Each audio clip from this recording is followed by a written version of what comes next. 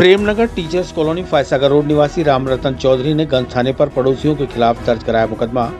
घर के पीछे लगे गार्डन की तारबंदी और पिलर तोड़ ले जाने और गार्डन को तहस नहस करने का लगाया आरोप। गंज थाना अंतर्गत Premnagar teachers colony Foysagar road निवासी परिवादी राम रतन चौधरी ने गंज थाने पर अपने पड़ोसियों के खिलाफ मुकदमा दर्ज कराया, जिसमें बताया कि 7 अगस्त को घर के पीछे 8 फीट की खुली ज़मीन में लगे हुए गार्डन पर पड़ोसी प्रकाश रावत, उसकी माँ कैलाश, संपत्ति देवी, बलबीर रावत व अन्य पाँच सात लोगों ने जबरन तारबंदी और पिलर तोड़कर गार्डन को तहस नहस कर दिया और तारबंदी और पिलर अपने साथ ले गए, जिस पर फ़िलहाल चोरी के मामले में मामला दर्ज किया गया है। आगे अन्य धाराएँ भी जुड़ सकती है। घटना की जानकारी देते हुए गंज थाने के एसआई प्रेम सिंह ने बताया।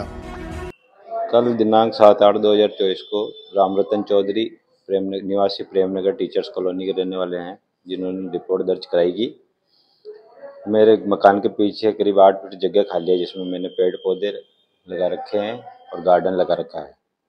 तो तारबंदी कर रखी थी जिसमें पड़ोस के रहने वाले प्रकाश रावत, उसकी माँ कैलाश, बलवीर रावत और संपत्ति देवी और कुछ और अन्य लोगों ने मेरे घर पर आकर हमला किया था एवं गार्डन की तोड़फोड़ कर दी तारबंदी को उखाड़ कर ले गए।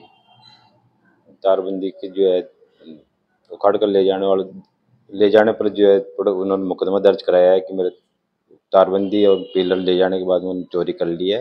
इस पर मुकदमा दर्ज किया गया और मुकदमे में जो है ये बोरा प्रेम नगर टीचर्स कॉलोनी के पास में बोराज की। कितने दिनों के खिलाफ मामला दर्ज कराया है? सात सात आठ आदमियों के खिलाफ है करीब।